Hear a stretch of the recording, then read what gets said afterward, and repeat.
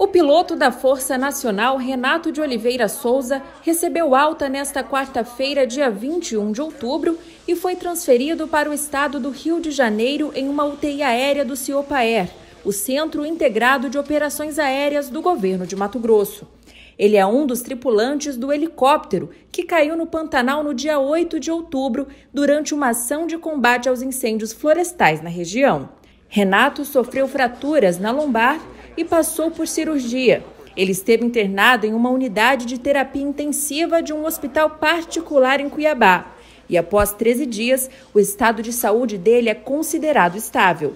Agora, o piloto segue para tratamento em casa por um período de três meses. Ele teve uma fratura a nível de lombar, foi feita toda a cirurgia necessária.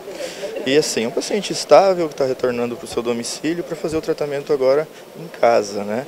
É, ele é natural do Rio de Janeiro, então a gente vai encaminhá-lo agora ao aeroporto do Rio. Ele será recebido lá por uma equipe de médicos também. E de lá ele vai para a residência para fazer o tratamento do sistema de home care.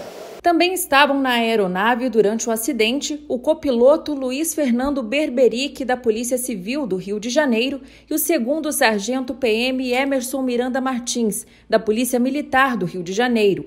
Emerson teve alta logo após receber os primeiros atendimentos médicos. Já Luiz deve retornar ao Rio de Janeiro no próximo sábado, dia 24 de outubro, também em um voo do Ciopaer. Na data de hoje, nós fazemos o primeiro translado é, um segundo paciente deve ficar para sábado, dia 24 de outubro, e o terceiro não vai requerer a utilização da aeronave. Ele está em melhores condições de saúde e deve regressar via veículo de transporte terrestre. O irmão de Renato fez questão de agradecer ao suporte de toda a equipe médica e assistência prestada pelo governo de Mato Grosso. Emocionado, ele conta que ao receberem a notícia do acidente aéreo, consideraram um milagre Renato ter sobrevivido. Não, eu acho que se não fosse o apoio institucional do governo aqui do Mato Grosso, da, do Mato Grosso, da Força Nacional e, e assim dos companheiros que o Renato fez aqui, eu acho que teria sido muito mais difícil. Porque eu até me emociono com isso. Quando a gente vê uma pessoa querida numa situação dessa, é complicado, mas é uma alegria ver que tudo no final deu certo, né? Porque dificilmente em acidente de helicóptero você tem sobrevivente. Porque não tem garantia nenhuma, não tem segurança nenhuma, a coisa é muito rápida.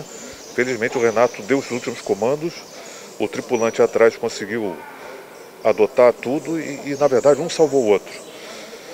E se não fosse esse apoio logístico aqui, esse apoio operacional, esse apoio humano, psicólogo, com fisioterapeuta, com essas visitas dessas pessoas envolvidas nessa área da aviação, eu acho que teria sido muito mais difícil para o Renato ter superado isso. O secretário de Segurança Pública, Alexandre Bustamante, acompanhou o embarque do piloto e destacou o funcionamento do sistema de segurança em situações adversas. Para nós é motivo de orgulho ver o sistema todo funcionando ver o resgate no Pantanal com o nosso helicóptero, com nossas aeronaves, trazendo para Cuiabá, feito o tratamento dele aqui e encaminhando agora para o Rio de Janeiro na nossa UTI do ar.